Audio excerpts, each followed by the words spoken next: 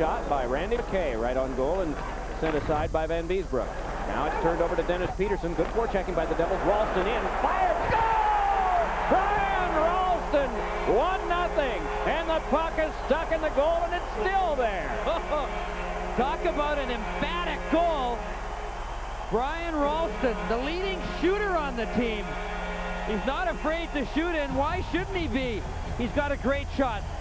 First of all, it's going to be the velocity, and it's going to be the height of the puck again, about that 18, 18 inch, just below Vanbiesbrouck's glove, just over his pad. There you see the puck hanging in it. Watch the height here. Just below the glove, just above the pad, perfect height. I've said that my whole career. It's not how hard, it's the height of the puck. And Brian Rolston gets a shot of confidence with that big goal of his. Eighth goal of the year for Rolston. His first goal after six empty ones. The six empty ones followed his hat trick against Tampa Bay. So the first goal.